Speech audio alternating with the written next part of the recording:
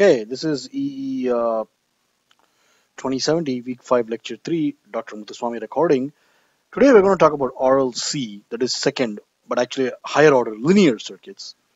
I've already written up the basic idea, and the idea is that the analysis of an RLC circuit is no different from the procedures that we used in chapter 7 for first order RL and RC circuits because these three I concepts do not change. That is, capacitors or inductors maintain voltage or current across discontinuities, respectively. And at steady state, capacitors or act like open circuits, inductor act like short circuits. And the total response, since we are dealing with linear dynamic systems, is always the sum of the steady state and transient response. But now, uh, since we have let's see uh, I'm just checking some for background background noise. Okay great. Anyway since we have constant input functions number one the steady state response is easy to compute uh, because at steady state capacitors and inductors we know how they behave. And also the transient response is will still be complex exponential functions. You will see that the special case of uh, no dampening can lead to steady state sinusoidal responses. But anyway, speaking about sinusoidal responses, we'll see that for second and higher order circuits, we can now have the possibility of damped harmonic oscillations because our exponential functions can be complex exponential functions. That's about it for actually second and higher order linear circuits. And the best way to understand this is through an example. So let me go through this practice problem. Okay. Uh, so, and this is basically a series RLC circuit in the sense for, so here's the solution. For t greater than or equal to 0, the circuit looks something like this.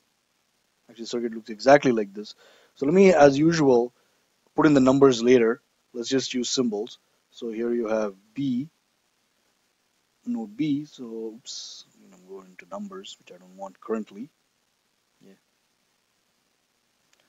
R and obviously when the switch has been in a steady state at t equals 0 minus that is if the switch has been in this position for a long time the current the inductor acts like a um, short circuit. So the current through the inductor well that's what we want that's what he's asking us to find I of t but then I of 0 minus is equal to I of 0 plus is equal to 10 amps because current the inductor maintains current through it across discontinuities. But now to solve the circuit, let's write uh, the KVL expression that describes this single loop LCR circuit. We are not using KCL obviously because the KCL, KCL expression is trivial. So KVL says VL, uh, let's see, plus VR plus VC equals 0. Understand that all of these are functions of time. I'm not going to explicitly write that because it's implied. Now we want to solve for the current I in the loop and through each element. So we just have to eliminate all these voltages in terms of current. So let me for one equation write the time, make the time explicit. This VC of t equals 0. So I used Ohm's law in accordance with the passive sign convention because of the way I assigned this voltage drop uh, judiciously. So the current flows through the positive direction of voltage drop that I assigned. And then if you keep going, so this implies V, uh, VL, the voltage across the inductor is L di dt, plus this is IR, plus VC equals 0. And then now if I differentiate both sides with respect to time, I get L d squared I dt squared plus r di dt plus dvc dt is 0. But now I can even eliminate dvc dt uh, by using the IV relationship across the capacitor or associated with the capacitor.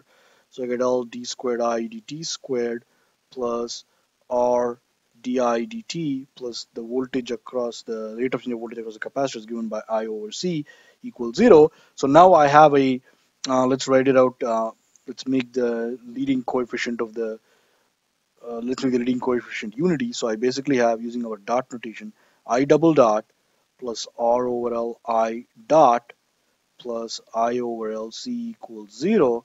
I of 0 plus we know is 10 amps. Now we need a second initial condition that we'll find shortly. We need to find this. So we'll do that. But basically, here is our um, system equation. Note the units. And then let me write this in red. In the sense, uh, we should always do a dimension check. So a couple of points, right? So understand in what context this appears. Note number one, uh, dimensions of d squared i over dt squared is amps. It's the didt is the rate of change of current, so it's amps per second. Rate of change of amps per second is amps per second squared. Uh, the units of r over l di dt is units 1 over L over R di dt. So this is also amps per second squared in the sense you should recognize that L over R is the time constant from chapter 7. Okay, And then finally, same thing, that is uh, I over LC should be also amps per second squared. The units is consistent, but also notice that uh, recall from our frequency response description of RLC circuits, we have the bandwidth R over L and omega naught, which is the natural frequency of oscillation, 1 over square root of LC, uh, both occur in equation 1 okay? So in other words what we are doing is what we're I mean the circuit we're solving is nothing new. We have already seen this before so it is no surprise or it should be a no surprise to you that these parameters occur again right?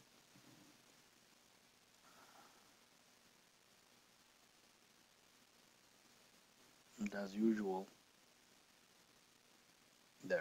don't received. That's awesome. Okay. So in order to solve, now let's solve equation 1. In order to solve, looks like my thing's going to crash, so I'm going to save this again and restart it. And I have the uh, problem open from my uh, from my Connect website associated with the, when I offered EE 2060. So anyway, we can check our answer. In order to solve 1, let us assume the solution is an exponential, okay? So this is, how do we know this? Based on our experience, that is our previous knowledge with first order circuits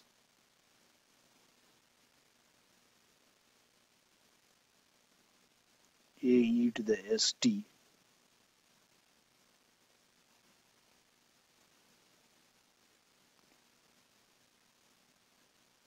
Okay. Uh, therefore, equation 1 will imply the second derivative of this guy is A times the, well, derivative of e to the st twice is s squared e to the st plus don't forget obviously the constants r over l s e to the st, and there's an a floating around here, plus a e to the st over lc equals 0. But now you should recognize what I'm doing if you have taken, I mean, you should have taken a differential equations course. So this is the characteristic polynomial associated with our differential equation. Therefore, the solution implies, therefore, uh, characteristic polynomial associated with 1 and that is s squared plus r over ls plus 1 over lc therefore hence what we have is uh, obviously if this is has to be 0 there's no way this can be 0 so as t goes to infinity assuming s is negative that's the only way this function can be 0 a cannot be 0 because the, the initial condition is 0 it doesn't do anything uh, of interest in our system. So here is our characteristic polynomial being equal to 0. Therefore, the two roots, and this it works out beautifully, minus b plus or minus sort of b squared minus 4ac over 2a. It works out beautifully in the sense you should recognize this when we simplify this as the half power frequencies from our discussion of resonance circuits. So you factor out 4 do the appropriate simplifications. So let me write this in red.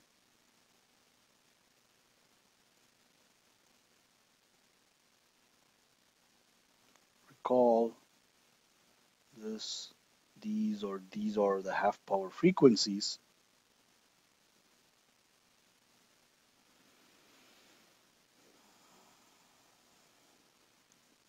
Frequencies from resonance ideas okay? So again all of this should not surprise you because we have already uh, seen this before but then uh, just to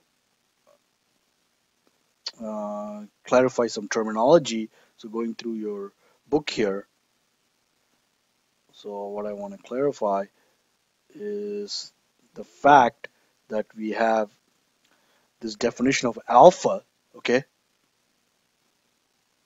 or the damping factor and omega naught, which we already know. So let's use that. The sense, this is minus alpha plus minus square root of alpha squared minus omega naught squared. So alpha is the damping factor, okay. Omega naught is the natural frequency and you will see why this is called damping factor. You should already know why omega naught is called. Actually, we'll see why also omega naught is called the natural frequency, right? So this, I'm going to write this slightly differently. As actually, I'll do that later. Right? So now, basically, we now have three possibilities uh, for the solution okay. so case 1 is s1 and s2 are real.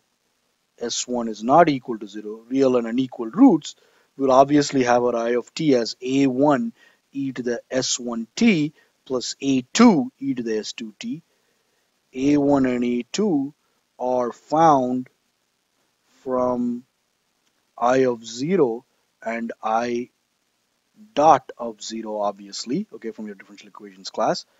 Number 2 s1 is equal to s2 and they're real numbers. Then i of t is going to be a1 e to the st obviously I cannot write a2 e to the st so I'll add a t there e to the st okay? So this is called the uh, over damped case okay? So this is over damped okay this is critically damped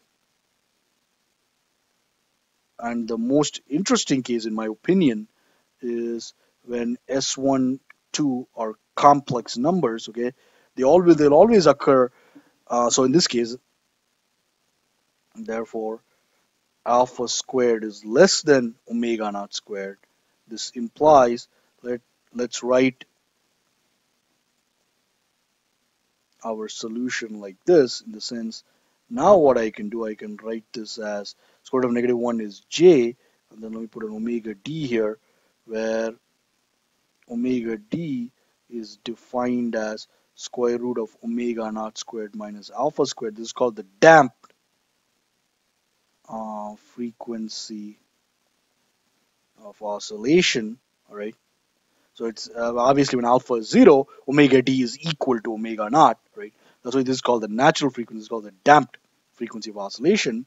But basically, our solution now, the third case, I of t is going to be a1 e to the minus alpha plus omega d jt plus a2 e to the negative alpha minus omega dj times t in other words, if we keep simplifying this, and I don't want to do this because the lecture is only uh, 20 minutes long and I have only five more minutes. So let me just write it out though. e to the, uh, so here, basically you have e to the minus alpha t a1 e to the minus omega dj times t, write it like this. Plus e2 e to the minus, uh, okay, let me put the plus here, doesn't matter. Okay, plus here and the minus here, where I put the plus and minus. Okay, so basically you have, this is harmonic uh, solution and here is the uh, damping okay so you have damped harmonic solutions okay and in your book. So and I recommend you do this. Uh, please prove this. And it's actually done in your book so let me show that to you. So blah blah blah blah blah. And you can see all the plots okay? But here it is. Okay so he actually does the derivation using Euler's formula. So what you basically get is it's e to the minus alpha t b1 cosine omega dt plus b2 sine omega dt and the key is you need to use Euler's formula or e to the j theta which takes a complex number in exponential form and converts it to a complex number in standard form okay so here is Euler's formula. Okay, so you need to know this. Box this. Okay. But in, in essence, going back to our problem, what it involves now is figuring out what kind of um, solution that we have. So basically, let me solve the problem.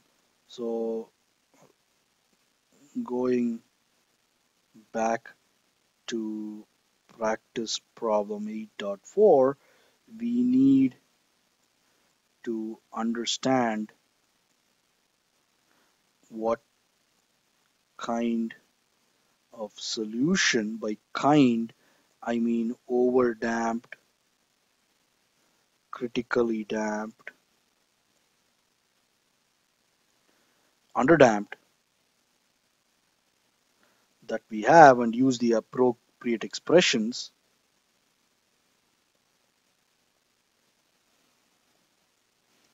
appropriate expressions okay for the solution.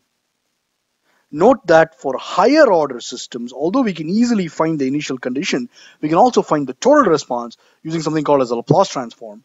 And uh, we'll do that that's the final part of this course and we'll do that next after our next after exam 2 but for now, I'm running out of time. So what I'm going to do is I'm going to pause the lecture, solve the problem, and then explain the solution for a minute so I can uh, restrict the lecture video length. All right, I'll be back. Okay, continuing. Uh, that did take a little bit of time to solve in the sense it took more than a minute and a half. Okay, it took me like two minutes, but whatever. So basically going back to the circuit, we already found that the initial condition is 10 amps. Okay, so here are all the numbers we need to find the rate of change of current through the inductor first. It's easy because the rate of change of current through the inductor is given by the voltage across the inductor divided by the inductance. Now KVL implies, which you already used, is VL is minus VC minus VR. But if you recall, when the switch was at this position, the cap is initially discharged. So when you move the switch over here, the cap initially still has zero volts, okay, minus VR. But then VR is simply I times R. So basically you get I dot or the rate of change of current through the inductor as negative 50 amps per second. So if we compute your alphas and your omegas, we'll see we have the underdamped case. So if we just plug it in, we need to simply find constants B1 and B2. So if you plug in T equals 0, the B2 term drops off. So B1 is simply I of 0, just 10 amps. Now to find B2, you simply take the derivative of this expression since we know what didt is. So you take the derivative using the product rule, chain rule, uh, all very elementary calculus, and then plug in t equals 0, you can solve for B2 as approximately negative 15.08 amps. And uh, the final answer is obviously the unit is amps. And notice that I have this unit step function emphasizing that this response is valid for t greater than equal to 0. And I told you in the couple, last couple of lectures, you should get used to writing the unit step function, not only because it is mathematically correct, but then also uh, we will definitely require it for the Laplace transform. So let's just confirm our final answer with the books or check if the book is correct, right? So if you look at the final answer, you can see the book is indeed uh, correct, right? And if you want to sketch this, uh, which you should, right? The book uh, has a nice sketch. I don't have time to sketch this, but basically here it is. So you have an exponential envelope. This is going to be e to the negative 2.5t in our case, with a damped uh, harmonic oscillation of frequency 2 pi over omega d, where omega d is 1.658 radians per second. Okay, that's about it for this lecture. For the next couple of lectures, there are no there are, there are not going to be any video recordings because we're just going to solve problems from the book. So I implore you to go through uh, your assigned reading, which is basically, um, hmm, hopefully I, I, haven't logged out. Okay, I've logged out. But if you go back, uh, it's, oh yeah, here are chapter 8 section. So please go through your assigned reading, which is all of this. I have done this part, okay? Sorry, I've done this part. It, everything else is very, is analogous, right? Please do the reading uh, and start practicing problems. All right, I'll see you next time.